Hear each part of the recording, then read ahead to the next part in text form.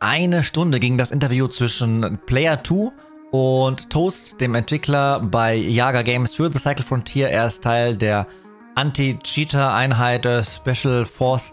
Ähm, ja, und genau darum ging es auch in diesem Interview. Cheater, Anti-Cheat-Software, aber vor allem auch Konzepte für jetzt, für Season 2, was in Zukunft auf uns zukommen wird. Sehr, sehr, sehr, sehr spannend. Ich fasse euch alles zusammen und den Original-Link zum Video findet ihr natürlich unten in der Beschreibung.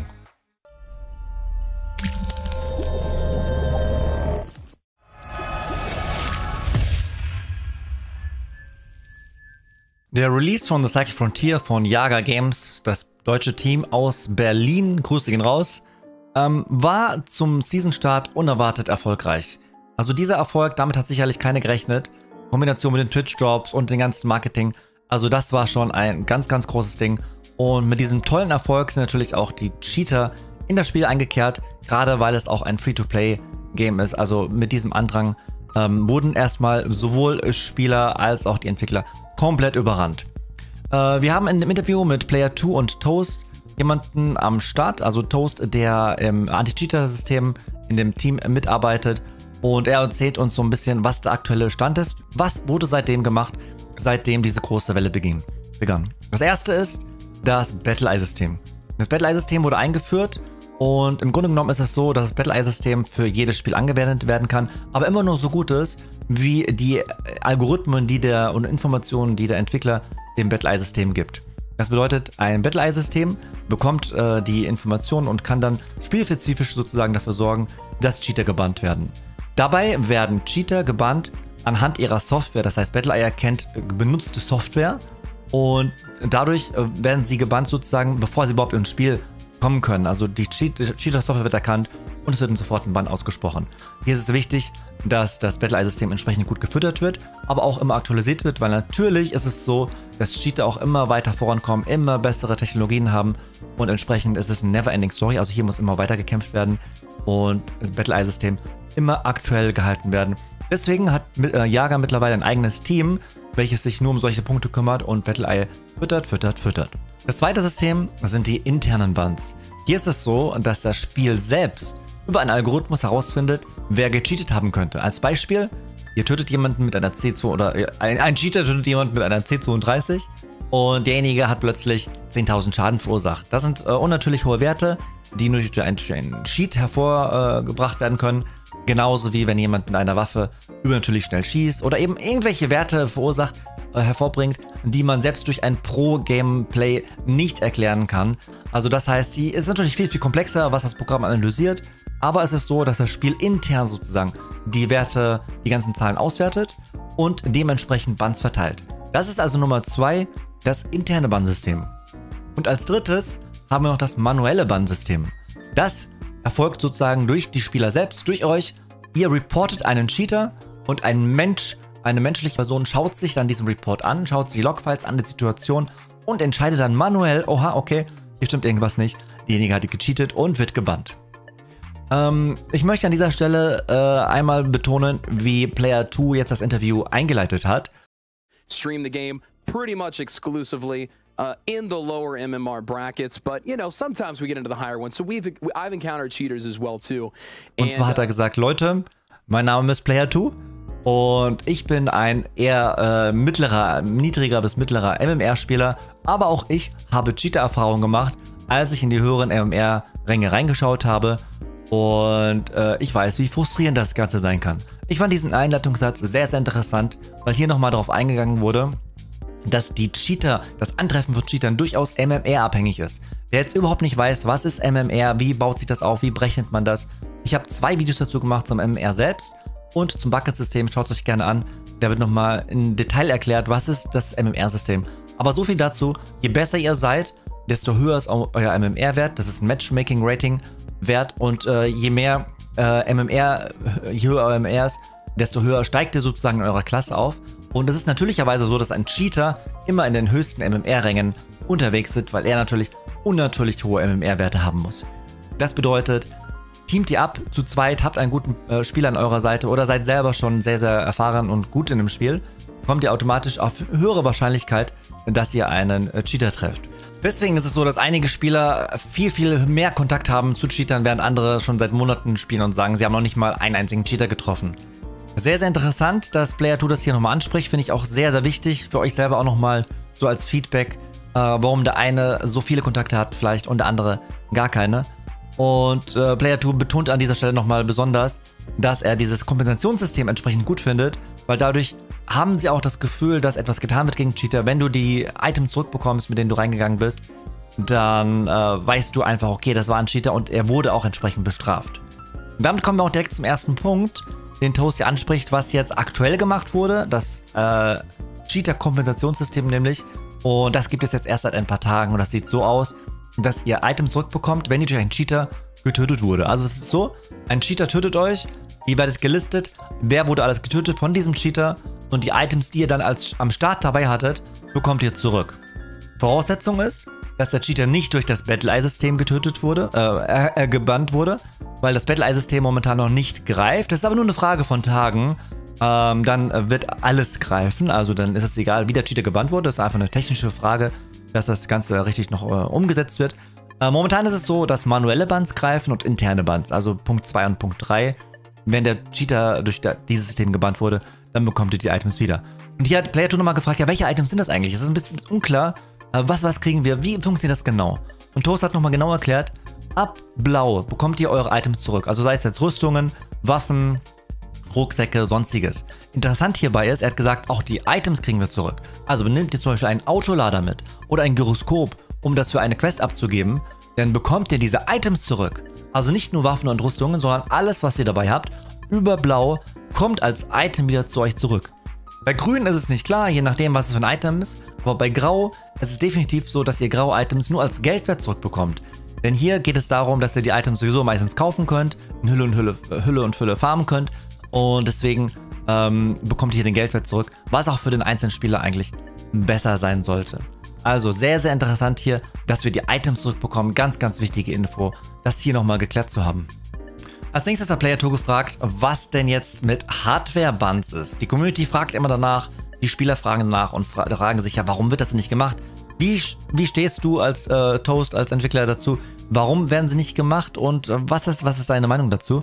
Und jetzt war die Antwort von Toast sehr, sehr interessant. Er meinte nämlich, das stimmt so gar nicht. Hardware-ID-Buns werden komplett durchgeführt. Sie werden gemacht, sie sind ein komplettes Teil des Anti-Cheat-Systems und ähm, werden, werden ganz normal äh, ausgeführt.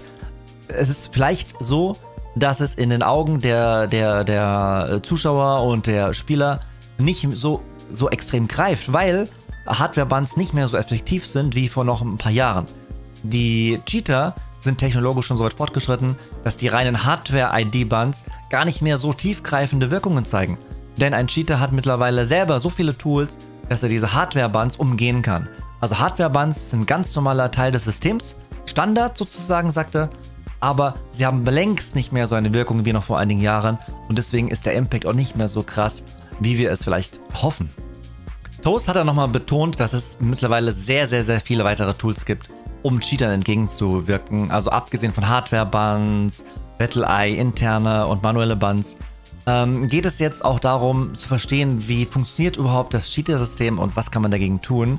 Und da ist ein wichtiger Punkt, den sie momentan angehen, die Einstiegsverzögerung.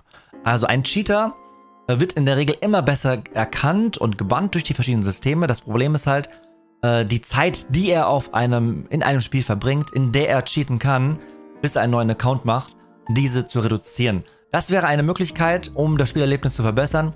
Die Frage ist, wie aufwendig ist das und wie viel, wie intensiv wie, wie, möglich, wie möglich ist es überhaupt, diese Zeitdauer zu reduzieren. Stattdessen könnte man eine Einstiegsverzögerung in das Spiel bringen. Das heißt, der Cheater wird gezwungen, länger im Spiel zu bleiben, bevor er überhaupt cheaten kann. Wie kann man das erreichen?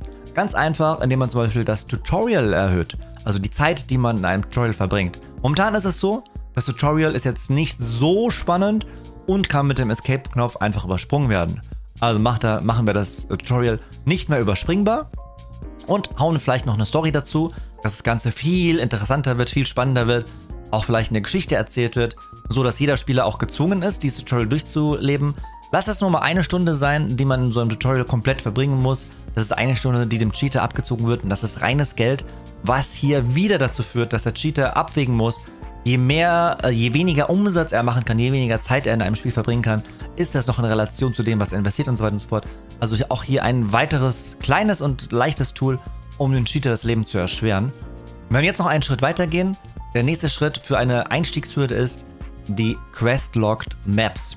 Und zwar ist es so, dass die neue Map, die Map Nummer 3 für Season 2, komplett Quest-Logged sein wird. Genau aus diesem Grund. Es ist so, ähm, dass wir erst eine Quest freischalten müssen.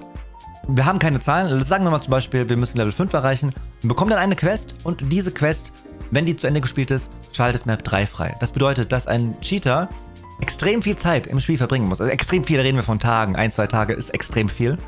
Muss extrem viel Zeit verbringen in einem Spiel, um dann Zugriff zu bekommen auf Map 3. Und äh, das führt dazu, dass schon viele der Cheater gar nicht so lange durchhalten können, rein technisch, ähm, um überhaupt so weit zu kommen. Ähm, möglicherweise haben wir dadurch eine extrem reduzierte Anzahl von Cheatern auf Map 3. Also ein ganz einfaches, aber auch sehr effektives Tool, um äh, Cheatern das Leben noch schwerer zu machen. Die Frage ist jetzt, wenn das denn so einfach ist, warum macht man nicht für Map 2 auch noch ein Quest-Locked, äh, eine, eine, eine, eine Quest, die äh, die Map 2 auch noch schwerer zugänglich macht? Und die Antwort von Toast war da sehr, sehr interessant. Er meinte, das ist absolut logisch, viele Spieler gehen nicht am Anfang auf Map 1. Also wenn der Vibe kommt und wenn die ersten Quests gemacht werden müssen, dann denkt man so, ja, man muss auf Map 1 gehen. Äh, aber es ist tatsächlich so, dass viele direkt auf Map 2 gehen, um da die schwierigeren Items zu bekommen, weil sie vielleicht gezielt diese und jene Quests machen möchten. Und das ist eine normale, äh, Vorgehensweise von den Spielern und die möchte man auch nicht unterbrechen. Ähm, man möchte also den Spielfluss nicht verhindern. Allerdings ist es so, dass sie das auf dem Schirm haben. Sie schauen sich das natürlich täglich an und wenn es den Anschein oder wenn es notwendig ist, dass man Map 2 auch Quest locken muss, vielleicht auch nur über eine kleine Mini-Quest, dann werden sie das tun. Aber momentan versuchen sie das noch außen vor zu halten, dass es vielleicht auch ohne geht. Sie hatten es aber, äh, haben es im Hinterkopf und äh, benutzen das als mögliches Tool noch für die Zukunft. Ja, und schlussendlich haben sie noch ein weiteres Thema angesprochen und zwar das Player, Trusted Player System von Steam. Ich weiß nicht, wer von euch das kennt. Das ist das äh, Steam-System, welches sozusagen, also die Spieleplattform Steam, die analysiert, wie lange habt ihr schon euren Steam-Account? Wie viele Käufe habt ihr auf eurem Steam-Account? Und benutzt ihr die Zwei-Faktor-Authentifizierung auf Steam. Diese drei Parameter führen dazu, dass Steam sozusagen eine Bewertung eures Accounts machen kann und sozusagen so, so eine Art Gütesiegel euch geben kann. Seid ihr ein eher vertrauenswürdiger Steam-Nutzer oder seid ihr jemand, der gerade vor 5 Minuten den Account aufgemacht hat, um in irgendeinem Spiel wiederum einen neuen Account zu machen, um dort zu cheaten? Sehr, sehr interessantes Konzept und auch hier wieder eins von vielen, vielen Tools, was man zusätzlich benutzen kann. Toast sagt, sie sind hier schon relativ weit, was diese Implementierung angeht. Das heißt, The Cycle Frontier wird auf dieses Trust-System zugreifen und diese Parameter für sich nutzen, um dem Spieler ein besseres Erlebnis zu bieten. Wie sie im Detail machen, sagt er auch, darf er jetzt nicht äh, im Detail sagen.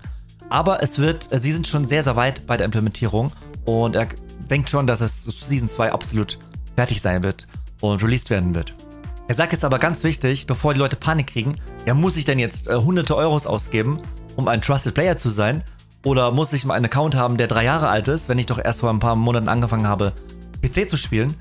Ähm, sagt er ganz klar nein, aber es sind natürlich Faktoren, die einem helfen können, ein besseres System zu ermöglichen. Aber es zwingt, es niemand, niemand muss das tun. Also niemand, niemand benachteiligt, nur weil er eben gewisse Punkte nicht erfüllt. Was aber jeder machen kann, ist diese Zwei-Faktor-Authentifizierung einzuschalten. Er würde es generell sowieso Spielern empfehlen, auf Steam diese Zwei-Faktor-Authentifizierung zu aktivieren, um den Account zu schützen. Und gleichzeitig kann diese einfache Methode helfen, euch das Erlebnis in Cycle Frontier zu verbessern. Habt ihr jetzt noch einen normalen Account mit ein paar Spielen drauf und existiert das nicht gerade seit ein paar Tagen, erhöht ihr schon drastisch euren Wert im Vergleich zu einem Spieler, der eben einen sehr, sehr niedrigen Trusted-Wert hat. Sehr, sehr interessantes, interessantes Konzept. Und er betont an dieser Stelle, alles, was bis jetzt gesagt wurde, sind sozusagen ganz kleine Tools, kleine Zahnräder, die ineinander greifen, aber das große Ganze, es ist natürlich noch viel, viel, viel mehr. Das Ding ist, er kann nicht alles erzählen, er kann, er muss sogar vieles geheim halten. Vieles wird erzählt, wenn es soweit ist. Teilweise bei Season 2 Start, teilweise zwischendurch. Wir wissen, jede Woche gibt es einen Patch. Aber viele Dinge werden niemals erzählt. weil natürlich jeder Cheater, die, die Cheater, das ist eine Riesenindustrie, das ist eine, eine Sache, da geht es um sehr, sehr viel Geld. Und die Cheater werden alles dran setzen, immer wieder auf den aktuellen Stand zu kommen, Anti-Cheat-Software äh, Anti zu umgehen, eigene äh, Angriffe zu starten.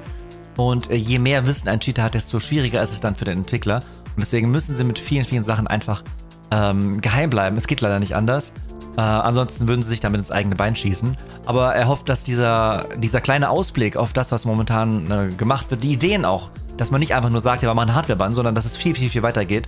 Dass man versucht sozusagen auf, auf sehr, sehr vielen verschiedenen Wegen dem Cheater Herr zu werden. Dass das das Grundkonzept ist und dass sie deswegen sagen, die, der Kampf gegen die Cheater ist Priorität Nummer 1 und dass sie deswegen ein Team dafür haben. Und dieses Team, er sagt, sie sind nicht zufrieden mit der Größe des Teams, Sie wollen Leute, neue Leute haben und tatsächlich sind momentan auch Stellenausschreibungen offen. Also wenn jemand von euch Lust hat, auf jager.de kann man sich bewerben und das Team wird ständig verstärkt. Also wer da Erfahrung hat und Interesse hat, kann gerne mal vorbeischauen. So viel dazu. Ich bin da kein Experte drin. Ich werde mich auf gar keinen Fall bewerben. Deswegen sage ich an dieser Stelle, bleibt gesund, bleibt sauber. Hoffen wir auf ein cheater-freieres Erlebnis in Season 2. Und bis dahin, hasta luego. Hasta la vista. Ciao, ciao, ciao, ciao, ciao.